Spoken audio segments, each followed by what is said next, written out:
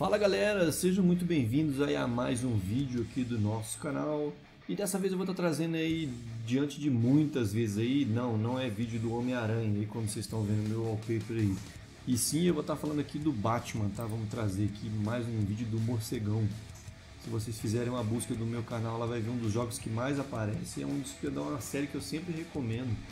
São os jogos do Batman, tá? Porque agora é um. Assim, pra mim é um dos melhores jogos de, de, de PC no momento. E eu gostaria muito de estar jogando no Homem-Aranha, mas como eu não possuo um PS4, né? Então eu vou ficar só na vontade.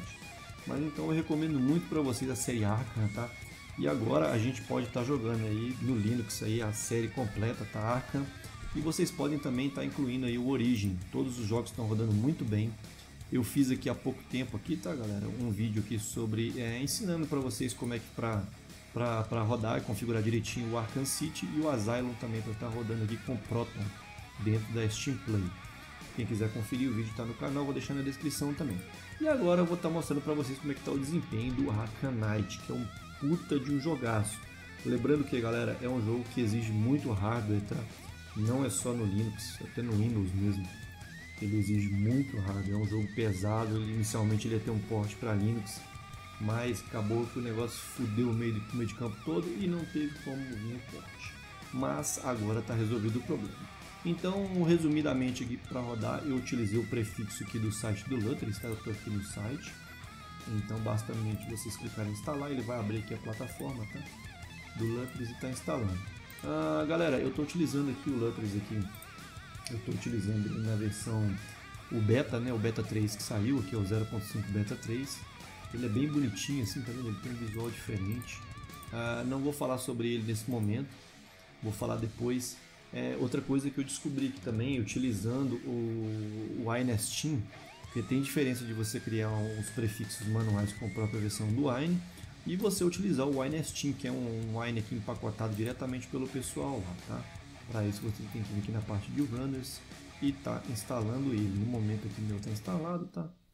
Não vou configurar, então eu estou utilizando aqui a versão Wine tá? Vamos dar um play aqui, enquanto isso eu vou mostrar para vocês. Eu acho que o jogo ficou muito bom, porque o prefixo vem configurado aqui com, com, com os tweaks aqui, para os shaders aqui, ó do jogo, tá? Que vai criar uns arquivos separados exclusivamente para o jogo dentro do próprio prefixo do jogo aqui dentro do, da pastinha do, do Lutris, tá? No caso aqui, não na pastinha do Runner, mas aonde vocês criaram lá o prefixo pro, o jogo do Batman, tá? No caso aqui eu coloco tudo em um prefixo único aqui pro Vulkan. Então a pasta minha geralmente fica com 2 GB e meio a 3 GB. Então é isso aí galera, nada de diferente eu fiz aqui, simplesmente criei o runner, uh, iniciei o jogo aqui e já está aqui para vocês, tá? Eu trouxe recentemente algum vídeo aí do Dragon Ball, eu acho que eu vou trazer mais, mais vídeos dele, que é um jogo que eu curto pra caralho, estou gostando muito de jogar, sempre gostei, sou muito fã e tem novidades vindo aí. Né? Bom, vamos falar do jogo aqui então. Vou dar um play no jogo, pra gente ver o desempenho. Deixa eu minimizar tudo enquanto carrega e vamos falando. É, eu não testei aqui gravando, testei o jogo aqui diretamente jogando, na verdade é um teste, não é um gameplay. E inicialmente rodou bem pra caramba aqui, galera.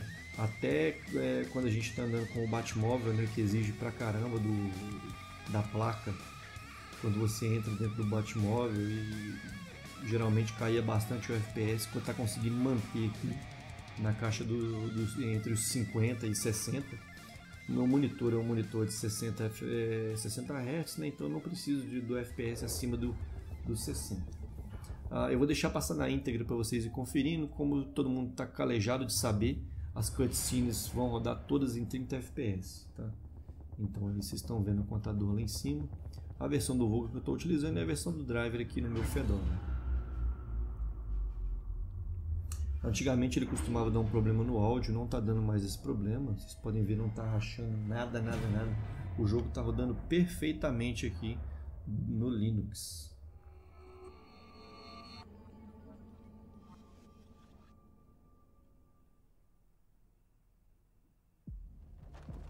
E aí vai dar uns frame drop, tá? Que é nessas telas, essa tela de carregamento. É... Para quem conhece o jogo aí, sabe que. Eu, aliás, eu nem vou mostrar, eu vou mostrar antes de iniciar aqui. é, aqui, ó, como é que tá as configurações de vídeo, tá? Eu, deu, eu não deixei tudo no mínimo, eu deixei aqui mais ou menos para ver como é que ia rodar. Vocês podem ver que está usando quase 3 GB de VRAM ali da, da minha da minha GPU, tá? Então essa é configuração aqui, as texturas no médio, tá? As sombras no baixo, detalhe normal. A sensação de movimento eu não gosto, que aquele blur, eu acho muito feio. O anti-aliasing tá ligado, mas o V-Sync não. Se deixar o V-Sync ligado, vai dar uns drop violento, tá? E no mais eu deixei algumas opções para baixo aqui que não fizeram muita diferença deixar ativada ou desativada, tá? Essas são as minhas configurações. Vamos lá, abrir o jogo aqui e curtir aqui, ver como é que tá. Ah, caramba, ele acabou salvando em outro ponto do jogo aqui. Eu fazendo um teste. Tomara que não inicie no barco aqui.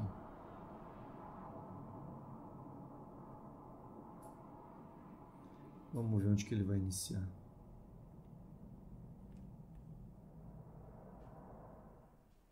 Ah não, beleza.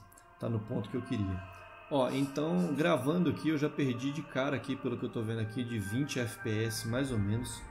Então eu vou fazer uma configuração ao vivo aqui para vocês verem, tá? Eu vou dividir, vou diminuir a textura, que é o que mais pesa lá para vocês verem. 1 GB só nessa nessa mudança aqui. Opa, peraí.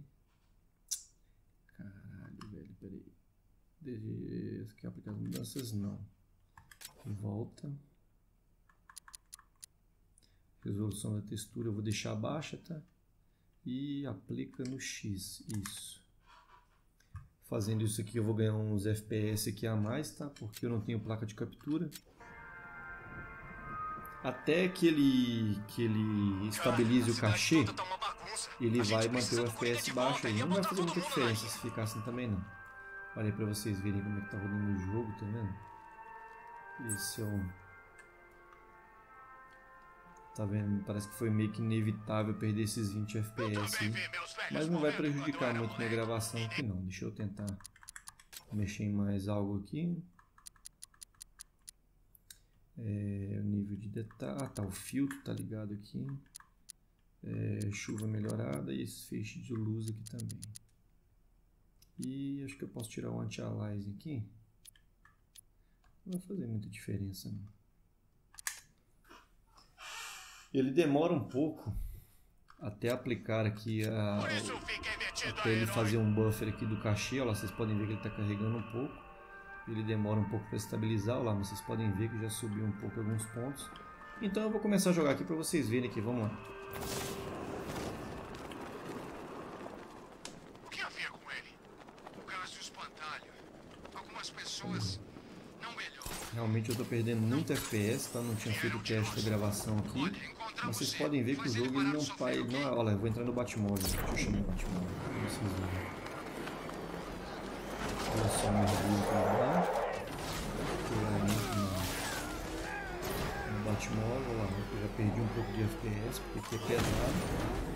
É, essa visão do Batmóvel é muito pesada, até no próprio Windows mesmo fazer uma corrida aqui pra vocês verem como é vai ficar. Você disse que ia pegar cigarros. Foi por isso que invadimos aquele lugar, troca!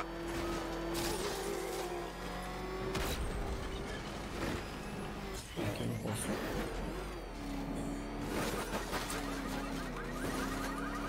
Vocês podem ver que o Batmóvel ele destrói tudo, ele acaba com tudo. fechado ali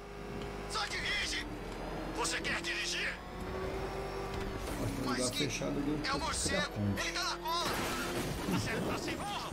Ó galera, aqui é. Então esse é o meu Batmóvel, aqui é a visão de tanque, tá vendo ele aqui, ó?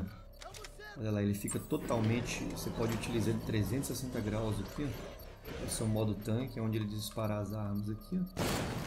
Aqui eu tenho o canhão. Aqui eu tenho. E eu tenho um míssil que também é ótimo, é o pulso, aquele MP, né? O pulso eletromagnético. Essa é minha visão sempre tem, porque eu posso ir onde eu quiser, do jeito que eu for, tá vendo?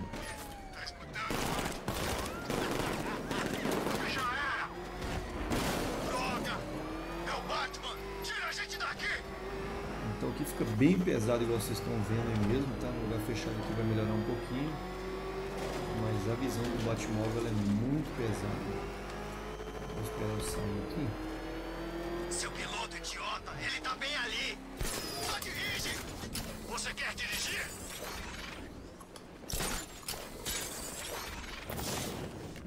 Deixa eu ver aqui, eu já, eu já finalizei, né? Bom, então vou mostrar o detalhe para vocês. Vocês podem ver, tá, tá tudo funcionando bacana. E uma coisa que estava dando problema nisso aqui era a visão de detetive. Olha aí, como vocês podem ver, então agora está totalmente funcional. Vocês podem utilizar tranquilo, porque sem, sem essa função de detetive aqui, essa visão de detetive, a gente não consegue jogar. E tem alguns pontos que a gente tem que analisar, fazer uma varredura de pistas. Então o jogo é bem interativo, galera. Como vocês podem ver aí, ó, funcionando legal. Olha, aqui eu tenho uns drones que ficam patrulhando aqui o jogo. Eu já finalizei o jogo no modo história, tá? Mas eu tô só com 64% do jogo concluído. Ainda tem, tem um pouco mais de 30% aí. Essa é uma das fases aqui que a gente tem que subir ali em cima com, com o Batmóvel. Muito louco. Vale muito a pena jogar. Bom, galera, então tá aí ó, o nível de detalhe. Vocês podem ver a qualidade gráfica do meu Batman. Rodando bacana. É, gravando aqui eu perco bastante FPS, mas sem estar tá gravando aqui dá para jogar tranquilo aqui. Totalmente jogável, beleza? Então eu vou ficando por aqui, eu queria trazer só para demonstrar a vocês aí mesmo. Agora vocês podem comprar o jogo sem medo de ser feliz para poder jogar no Linux, ok? Bom galera, então eu vou ficando por aqui, esse é o meu vídeo aí, desculpa a exceção de linguiça, um grande abraço para todos aí, até a próxima, valeu, tchau, tchau.